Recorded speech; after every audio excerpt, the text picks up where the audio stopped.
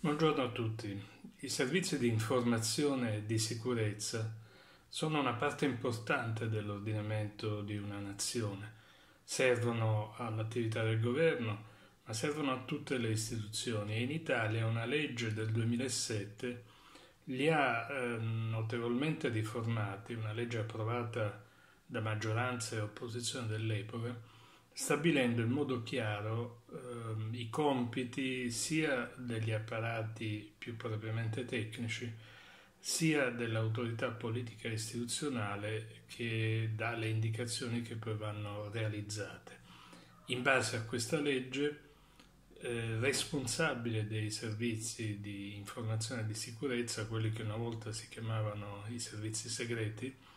è il Presidente del Consiglio che però eh, può delegare questa sua funzione o a un ministro che si occupi eh, soltanto di questo o a un sottosegretario. E quasi tutti i governi dalla riforma fino a, fino a oggi eh, hanno mh, visto al proprio interno l'esistenza di un'autorità delegata distinta dal Presidente del Consiglio Fa eccezione eh, l'attuale governo, anche il precedente, diciamo che da quando il Presidente del Consiglio, l'Avvocato Conte, non è stata istituita questa autorità delegata e i compiti di coordinamento dei servizi sono rimasti in capo al Presidente del Consiglio. Si tratta di un'attività molto delicata e anche impegnativa e delle due l'una o il Presidente del Consiglio in carica non ha molto da fare nella sua giornata e allora può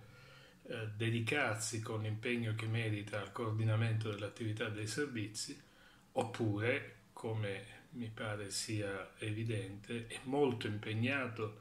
in tante incombenze e allora questo significa trascurare l'attività dei servizi e soprattutto il loro coordinamento politico e che si versi eh, in questa seconda ipotesi è ahimè confermato dai disastri che eh, ormai si susseguono su questo fronte,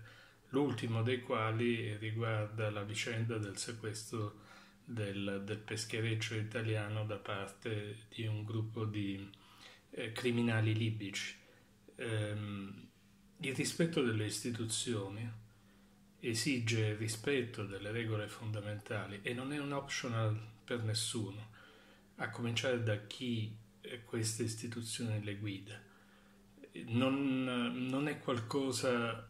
che è sempre recuperabile quando dura così a lungo e non è qualcosa che può essere coperto con discorsi più o meno solenni fatti più o meno di belle parole è qualcosa che riguarda l'operatività quotidiana e che esige scelte coerenti con il sistema.